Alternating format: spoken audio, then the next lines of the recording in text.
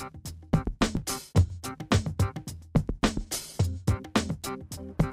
what's really interesting about the work that we do at Adobe is that it um, spans such a broad spectrum of things where we have mobile, we're breaking into TV, we have the online properties, we have the older desktop applications with Photoshop and the dynamic media applications. When Adobe first started talking about doing things online versus just on the desktop, there was like the buzzword of we're going to create a service. Yeah.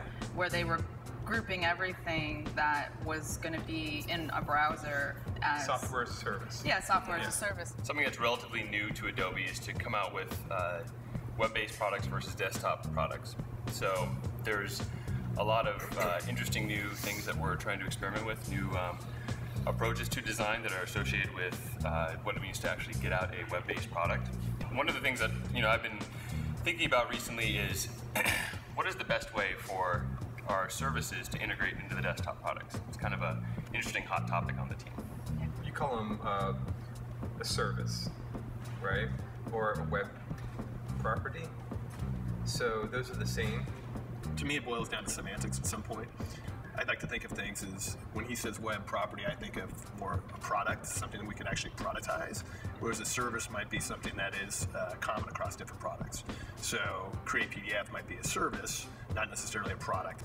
I think it's now starting to break into these, you know, what would be an actual service, something that could be shared across or in service of other web applications, and what as an actual web application. Right. And how that translates into the desktop, because I think that's And how where that the translates ambiguity the- has been with um, that transition phase, because we're also leading our customers, some of our customer base, into the services realm rather than being into their own native Yeah. context. I think that's one of the things that's really interesting is Yeah. thinking about what should that experience be and, and how do we actually expect people to use these products or services and what's the task that they're trying to accomplish at that time.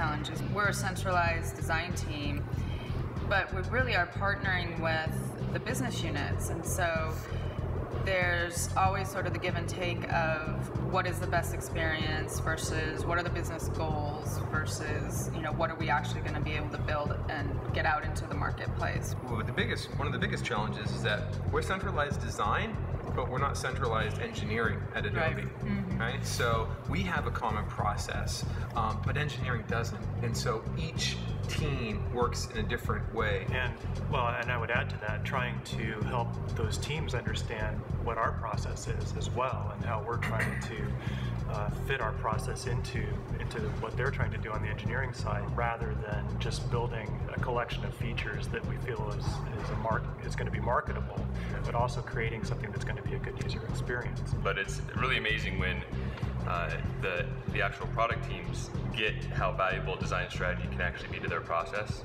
and they start understanding that well, if you actually don't have a strong foundation in you know what your users' wants and needs are and their desires, your foundation isn't it just doesn't exist.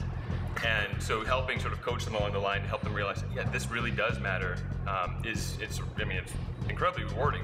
I think from our standpoint, it, we really have to approach our product where we have one one foot in the future and one foot in the past. Because I think across all our products, we have so many fantastic opportunities to look ahead to things like multi-touch and multi-device and and and services. So we have such large vertical workflows that are in place that will be in place ad infinitum and figuring out how we can drive kind of experiential stuff forward when at the same time a lot of my users are still on 15 and 17 inch CRTs, right? They don't have laptops. How do you balance kind of this progressive design idea, trying to drive design strategy, while at the same time understanding that there are really these constraints mm-hmm. that we have to work around to be able to support what's still already in place? Yeah.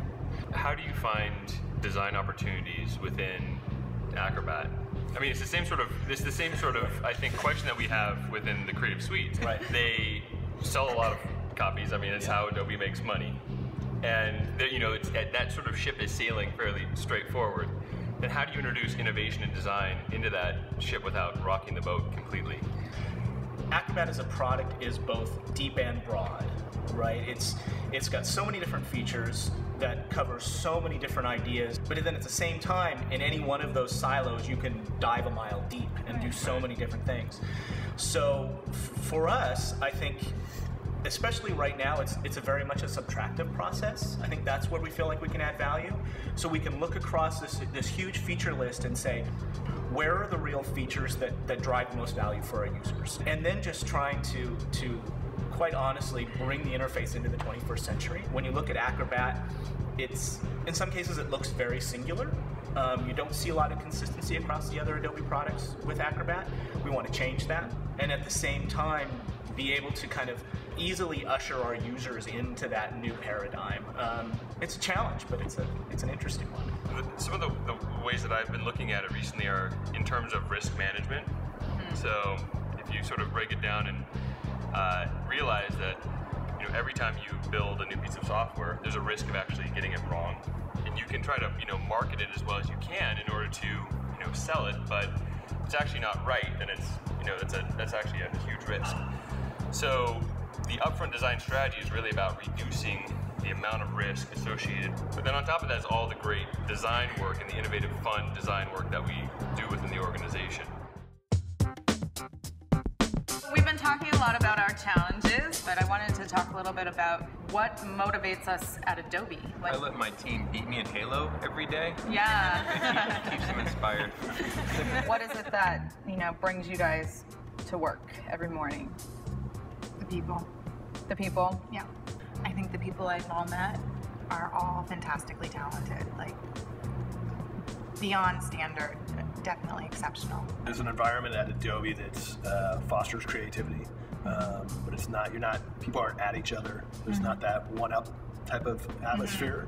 Where I hear it's really it can be a collaborative environment, and I love the fact that you know if you share a design with somebody, you can reach out to the different teams and get feedback, and it's it is more of a collaborative atmosphere. You know, it's about creativity and self-expression, and, and the you know the designers who are attracted to Adobe are oftentimes you know practitioners of you know you know printmaking or they're illustrators or they're you know they're, they're pros at Photoshop and they create a you know they're pro photographers or, or aficionados. And so you just have this you know nice collective creative mix of people who are you know truly designers doing design for products which are then for designers to you know do better design.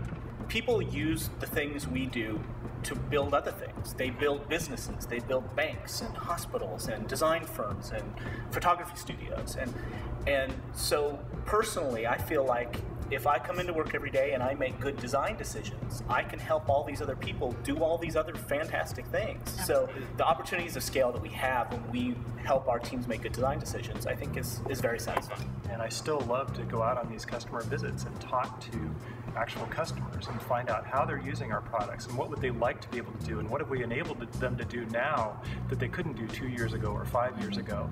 There are a few of us that have been designers before we became managers, Yeah. and I, I've been uh, in design for a long time and using all of Adobe's products all along before I came from to version one. Yeah, so for me it was like uh, I'm actually at Adobe working on the products. This is amazing.